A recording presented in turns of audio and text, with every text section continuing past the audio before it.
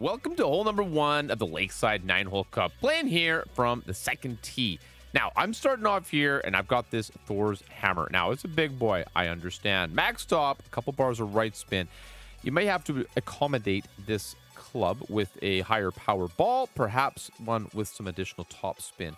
Um, but these are typically the way I would approach these shots. Now, I'm not going to use this club for every hole, uh, but I just wanted to let you know. As you can see, we're also setting that up there at the plus eight with approximately half the blue ring in the right rough. Just hitting perfect here.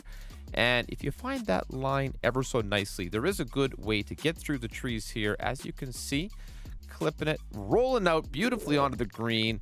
If you need to play a little wedge shot here, that's not too bad either. All right, so hole number two here. Now, as you'd expect from me, I'm going for the rough bump. And I've set up here with the quarterback and a navigator ball, four back, one bar of left spin. I do have the top of that green ring just poking out of the top of the brown rough, and that tip of the ball guide is about two, two and a half balls short of the pin. I mean, this is a difficult shot. There's no way around it. It's tough to find consistency when you know the landing position is on such a slope. Um, however, I do think at the end of the day, this is probably your best chance to get the hole in one here.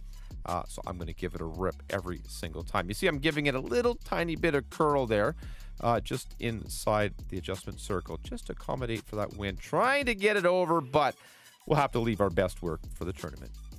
Hole three, par five, setting up here with a kingmaker and a rock, using about one bar of backspin three bars of right spin here. The idea is I'm going to leave myself a second shot rough bump with a long iron. So, like I said, one back, three right. We make a 30% max adjustment here just to keep this one in line down the middle of the fairway. And as you can see, we got about, uh, well, that blue ring just touching the rough on the right. So it's going to depend on the level of your clubs. And I know some of my clubs are a little bit higher level than if you're playing pro. But if you're looking at this video from an expert perspective for, for some of the shots, I, I, I understand.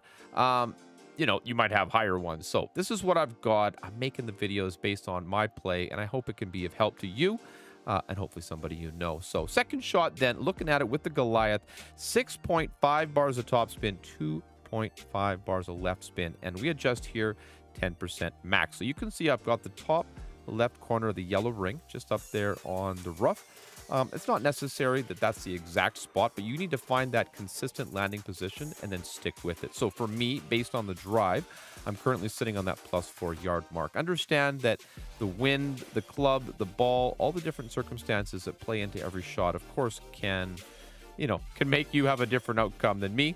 Perhaps a little better, perhaps a little worse. It just, uh, it's just going to depend. So, always trying to give my best effort to, to get better and uh, make the shots ooh, get in the hole. We'll see you on number four.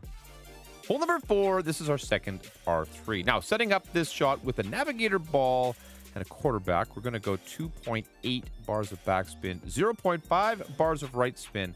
And depending on the wind here, we actually uh, have to push back up a little bit. We are adjusting down into a hill, uh, down a hill, so we do have to accommodate for that as well. And hey, one thing I need to let you know, if you're not already familiar, I will be live streaming my pro play during the tournament, and I'll be creating notes based on the live wind conditions. So, as much as you can go right now to erelicgaming.com and you can download some pro notes based directly off of this video.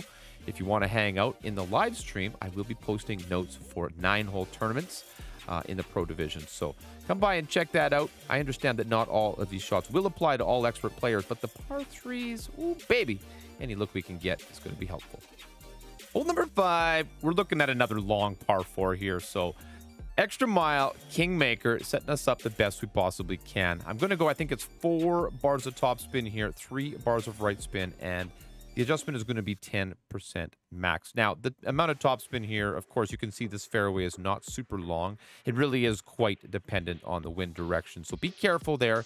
Don't go too much if you have a strong tailwind type of thing. And don't be afraid to add a little bit more if it's coming in directly into our faces. So just like that, perfect ball. You might want to add some right curl here. You're going to see this one, how close it jumps over the bunker. So keep that in mind. But this does leave us in a good position with our second shot.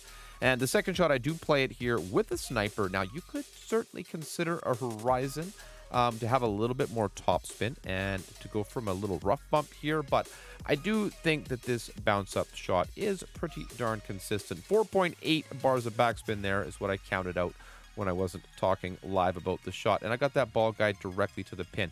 And you can see here the direction of the wind. That's particularly why I went with the Kingmaker in this situation. You could definitely try this um, with any, you know, power three ball or, you know, I think we could probably get away with the Katana here as well. Keep that in mind. It's all a matter of taste and timing. Um, and, you know, it's all in good fun. So I hope you get good bounces. Hope we get them in the hole. We'll see you on number six. Hole number six. This one is basically disgustingly difficult. with this win that is anyway. So rock and a kingmaker here. You see the fancy ball, but it's just a, a, fancy kingmaker. You can see the stats right there.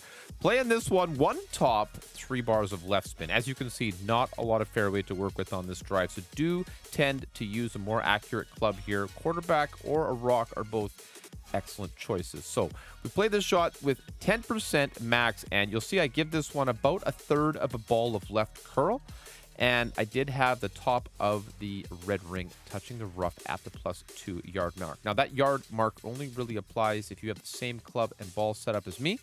Uh, and hopefully, at the end of the day, you just get this ball down to the end of this fairway as close to the end as possible without going over. Second shot, you'll see here with this type of wind, the likelihood of me getting this one right to the pin is, pretty tough.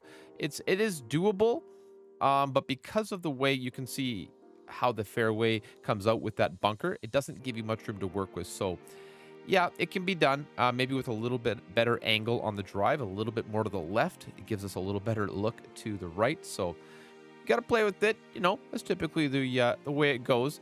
However, this one is going to get us to the green nicely into and in the headwind conditions, of course, right? It's, this is where I. Uh, you know, you just have to be realistic and decide how many balls you're willing to spend in a nine hole tournament.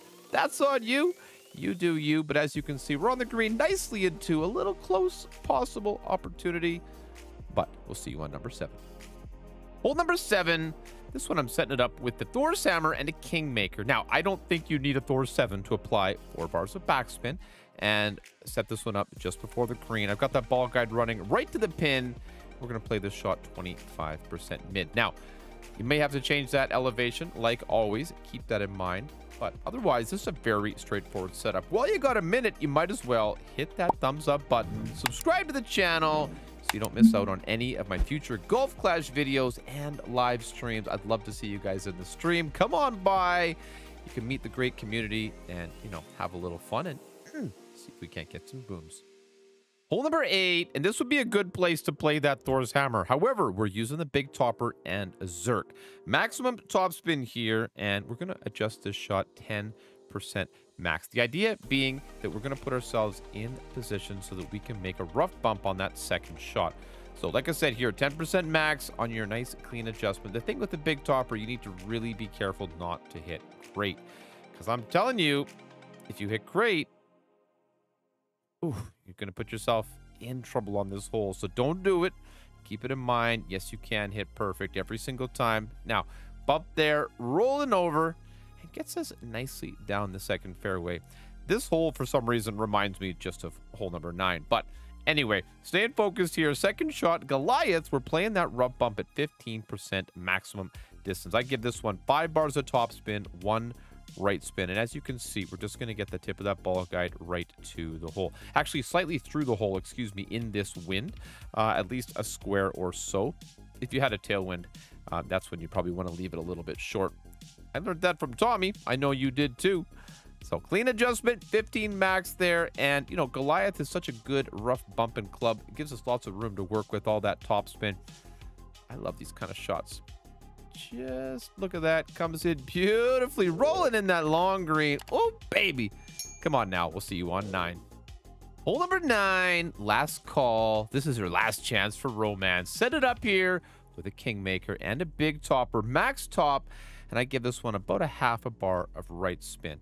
Now, the thing about this one with this kind of wind, again, you could definitely play a Thor's Hammer here, something with good top spin, but we're going to have to go max OP here anytime you're going to max overpower with the big topper, you need to do what you need to do. You got to make peace with your own And uh, hey, all in good fun, though. This is a video game. No guts, no glory.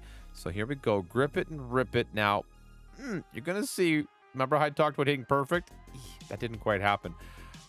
Perfect would be ideal. You know, I don't need to explain that to you. However, this does demonstrate that there's a little bit of wiggle room here, a little wiggle wiggle, uh, and we can still get it out nicely onto that second fairway. Second fairway now, once we're here, we're going to load up with that Goliath, and as you can see, we're sizing it up. Uh, we're going to be approximately mid-distance here. If you want to use that slider, get it going, be my guest. 0% mid-distance is the way I'm going to play this one. Uh, actually, 30% slider. You see, I knew I did something there. Four and a half bars of top spin. And looking at this rough bump with the Goliath, you know how it is. Guys, if you have not yet subscribed to the channel, please go ahead and do so. I'm always posting Golf Clash content, and I'm looking for ideas all the time of what else you might want to see. It's uh, it's an incredible community, and I'm very, very pleased to be a member of it. And this shot, ooh, baby, I'm uh, pleased to share this one with you. If you like the video, comments, questions, or concerns, please don't be afraid to leave a comment in the comment section. Hit that thumbs up button on your way out the door. Thank you very, very much. Good luck to you in the Lakeside Nine Hole Cup.